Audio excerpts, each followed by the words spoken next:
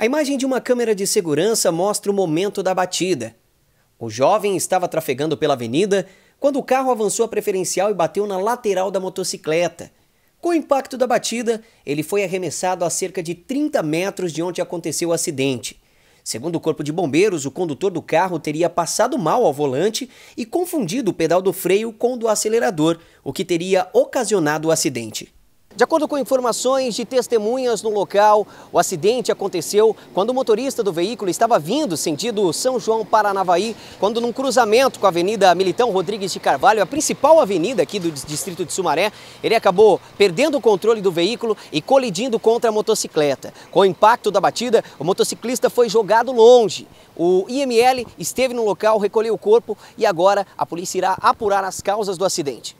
É, inicialmente nós fomos acionados para atender uma ocorrência envolvendo auto e motocicleta, né? E quando nós chegamos no local, a gente percebeu que era um auto que ele acabou batendo, colidiu com a motocicleta e bateu em outros seis veículos. É, inicialmente, quando nós chegamos no local, havia uma vítima no chão, já sendo atendida ali por terceiros. A gente já chegou, inicialmente já percebemos que a vítima estava em parada, iniciamos o protocolo de atendimento, massagem cardíaca, Chegou a equipe do SAMU, continuamos investindo por cerca de meia hora, mas infelizmente a gente não conseguiu reverter o quadro do, da pessoa, né, da vítima. O motociclista acabou morrendo ali no local. O que, que possivelmente, analisando a cena ali, o que pode ter ocasionado essa, essa ocorrência?